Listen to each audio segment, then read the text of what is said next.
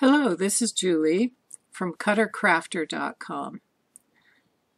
Today on my blog, cuttercrafter.com, I posted a tutorial on how to make this project that I did for a wedding that I'm attending. I needed a gift and families usually enjoy these tiles. It's a 12 inch tile with a customized family name and date so on my blog, I give you the details about how to assemble the cut project. But right now I want to show you how to use a, the free Regal split monogram font in Cricut Design Space so that you can cut this design or customize a vinyl design in Cricut Design Space to make a project like this. I posted the free font in the library at cuttercrafter.com so you want to be sure to get that and download it and install it in your computer's fonts system fonts folder. Once it's installed it should show up in your Cutter software in Cricut Design Space. So I'm going to show you what to do with it once you get to Design Space. So let's get started with that. First I'll go to Design Space and you see I've already done one here but I'll move it out of the way and show you how I did it. To get the letter monogram into your software is just the same as adding or using any other font in your software. So this is Cricut Design Space. I'm going to click, click on the T on the left toolbar and then the window Add Text here opens. So I'm going to select the capital letter of the font that I'd like to use and I'm going to use F here and once I type that, it's selected. Now I want to choose the font. And I only want that one letter right now. The font that I want to use, I select from the drop-down window on the upper left toolbar under Font. And I'm going to go down to Regal. And this all the fonts that are installed in your computer should show up in here and I previously installed the Regal Split Monogram font in my system folder fonts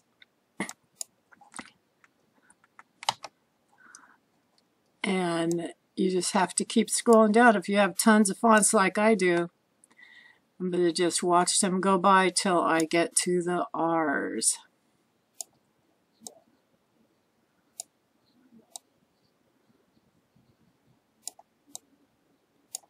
Oh, we can search them up here at the top. So type in Regal, split, and I see it here, Regal split monogram. So I'm going to just click on that, and that changed the F that I typed into this same font that I want to use. So what I'm going to do is resize this. Right now the size is one inch, but I'm going to type in for the width, I'm going to type in 10 and press enter. And it automatically resizes to 10 inches. And I'll just put it up here about in the corner. Doesn't really matter. And this is what it's going to look like when I'm done.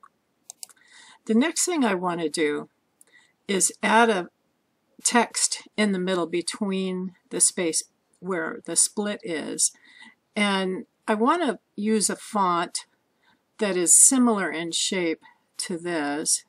Now I used um, a Caslon font, but you can use anything that you like. It doesn't even have to be the same style, any font that you have. So again, I'm going to click the T and I'm going to type in what I want it to say. I'm going to use all caps. It's just easier to read and keep everything together with capitals, but you can use lowercase letters if you want. So I'm going to type in Flanagan family, and you notice that it's using the same font that I, I just used, but I really need to have this be in a different font. So when I click on that down drop down, I see that I get the search Caslon BD BT. I'm going to use that font and it changes my text to that particular font.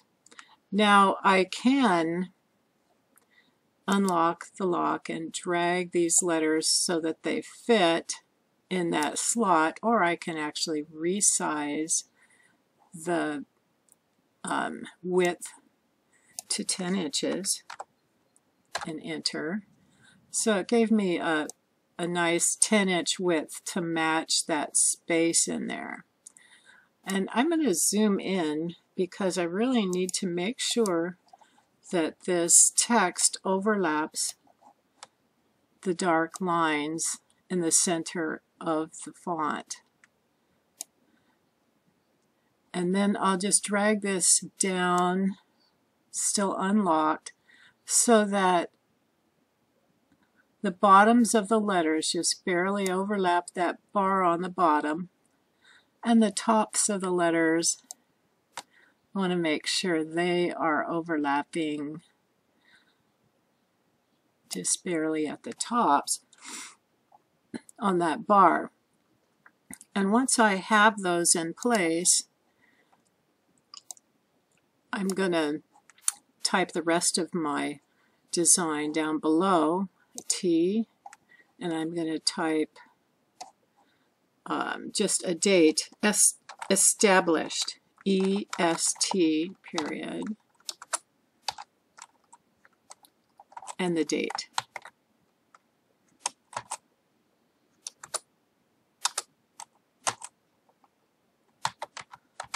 June 2nd, 1973. So I have the date now, and it's in the same font as, as the font I used in the center, and that's what I want. You could use whatever you want. And I'm just going to locate it near the bottom. I'm going to select everything, Control A, but I don't want all this. So we kind of get rid of this over here. Then I can select all of this, Control A. And I want to make sure that it's aligned vertically.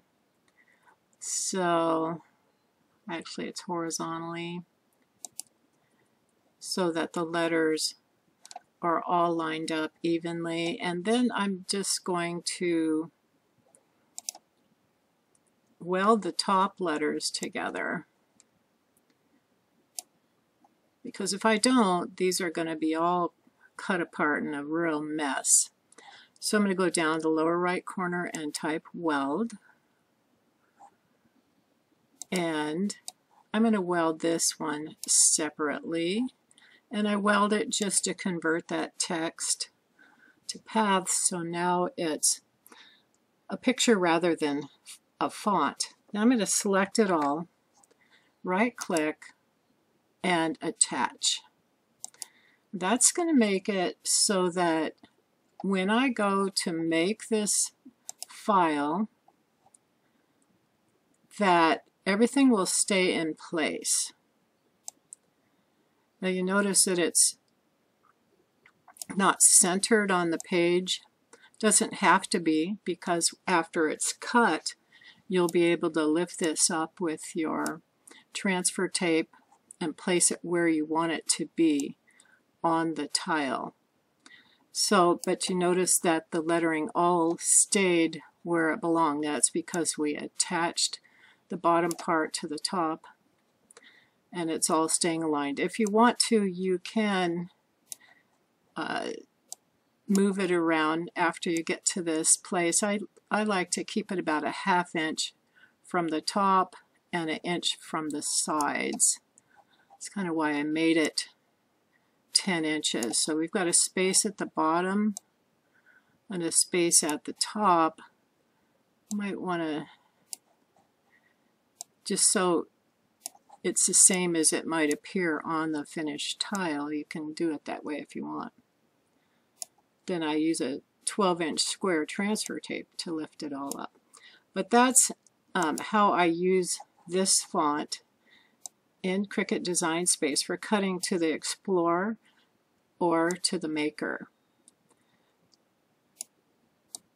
Now I can save it and if I need to use it again I can use as is but what I like to do is use control Z to undo a couple times maybe three times so that the center text is separate when I save it and that way I can save just the letter so next time I need an F I can type in a different name. If I leave it welded then I'd have to redo it all the next time I want to use the F. So then I go to save, save as, and then give it a name. This will be unwelded, so I'll save it that way. So I hope this is helpful. You can use any letter in the free font. It's a free download. And use any of the uppercase letters to create your own custom design for a really special gift for somebody. Thanks for watching.